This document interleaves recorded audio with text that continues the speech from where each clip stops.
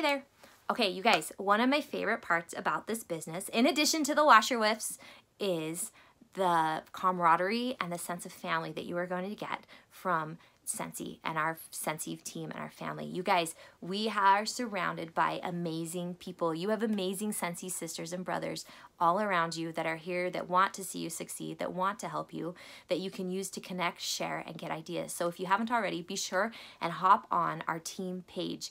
Make sure you've been invited. If you need a link, or ask your sponsor and they can help get you invited so you can be a part of it. And I would encourage you to make sure that you're an active participant too. Like go in there and contribute as much as you take. Share. Don't be afraid. Like what you have to offer might just be the thing that inspires someone to help them in their business as well. If you ever have a question and maybe you can't get a hold of your sponsor or you just would like some ideas, the team page is a great place to go for all of that. And then be sure, check out the units, check out the photo albums, check out all of those things.